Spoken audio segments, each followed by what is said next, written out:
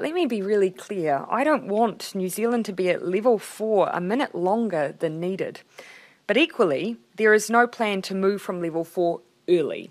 I just wanted to be nice and clear on that as it was a question that was raised with me um, this morning. All actions we have taken to date are about minimising the amount of time we are at level four in order to stamp out the virus. And our actions for the remainder of the period in level four will be about doubling down to ensure the gains made in the first half aren't squandered in the second. We are determined uh, to make sure that we stamp out COVID 19. That means broader testing, and in particular, surveillance testing more and faster contact tracing, and strong enforcement of the lockdown rules, and of course, border controls. Now is not the time to ease up, but rather the time for all of us to focus even harder on the mission that we have. With that in mind, I want to repeat the rationale for why we're at alert level 4 for four weeks.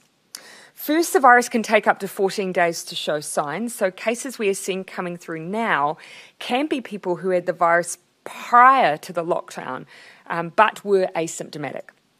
Those people may have passed the virus on to close contacts prior to the lockdown. So we can expect to see these close contacts coming through now and in the next week as well. And of course, these people may have passed it on to others in their bubble or their essential workplace as well.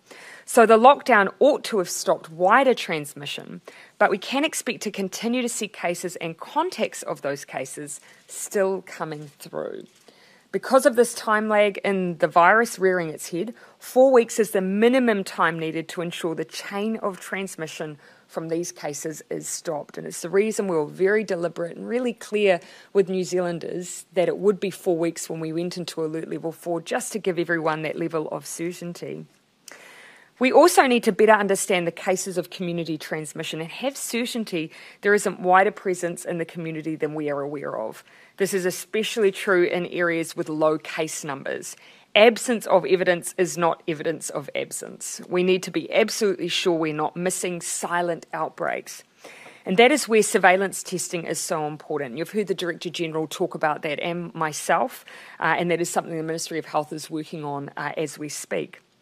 We'll be using then the next two and a half weeks to significant, collect significantly better data on the risk of unseen transmission in our community to help inform our decision making about level four and the other levels. But I repeat, there is no desire to be in lockdown uh, uh, for any longer than we need to be. Uh, and we need to do that, of course, for enough time to ensure we have the information needed both nationally and regionally to move out of level four with confidence that we have community spread under control and that the sacrifices made by New Zealanders will have paid off. First of all, an update on our wage subsidy scheme that is helping to keep people in their jobs connected to their workplace. Uh, and with an income, so businesses can come through this challenging time and keep going out the other end uh, with their workforce intact. A total of 876,000 people so far have shared in $5.3 billion, which has been paid out.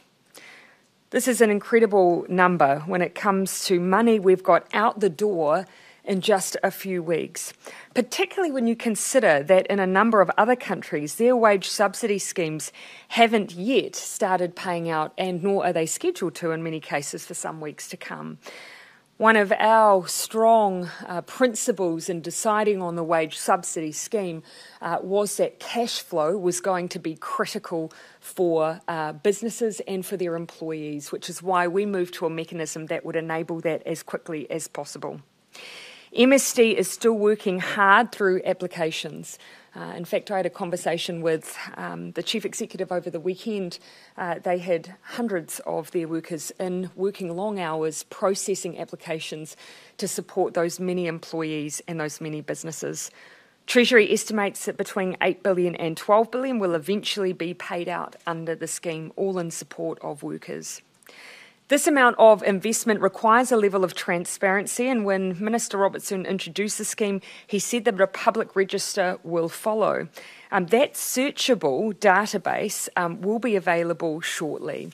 Um, that searchable database will enable uh, uh, anyone, any member of the public, but particularly employees, um, to search the uh, company name and see whether or not their workplace um, has been a recipient of the wage subsidy.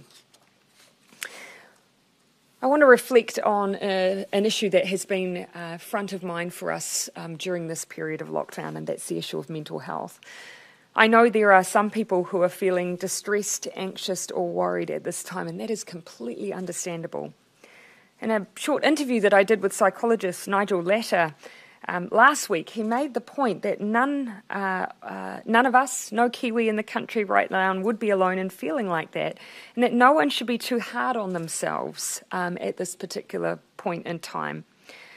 That's why we will tomorrow release campaigns and resources with tips designed to help Kiwis cope with the stresses created by COVID 19, um, not just through lockdown, but beyond that too.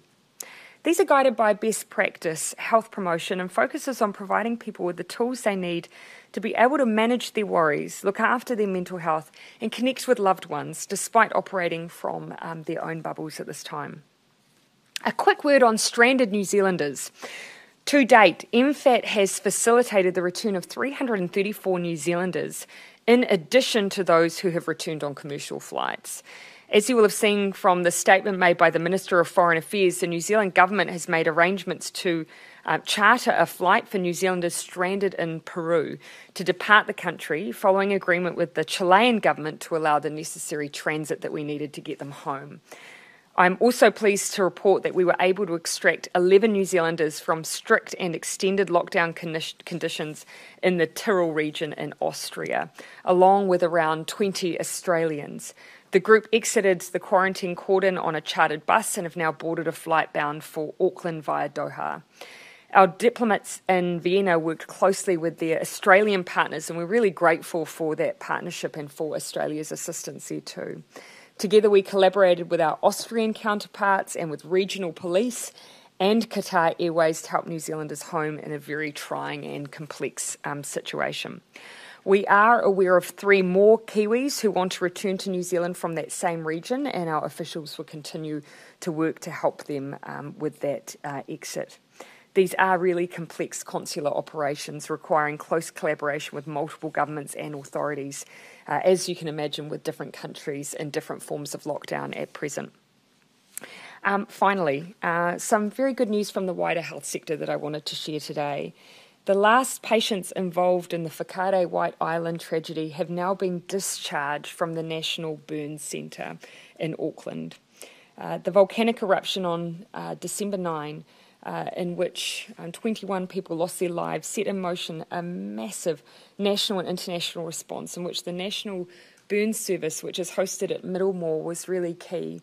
Now, whilst there are still um, uh, those who were affected by Whakaari White Island eruption still in other parts of our health system, I do want to pay tribute to those at Middlemore who played such a huge role in the critical care of so many. I visited um, Middlemore just before Christmas um, and met with some of the staff, um, met with some of the family, uh, and they do incredible work, very, very difficult work, and you can only imagine the circumstances under which they were working after that tragedy. I want to thank all of the health sector who were involved across the country in that response because we've now reached a really important milestone for them. And despite the situation we find ourselves in now, I didn't want to let that milestone pass without acknowledging them.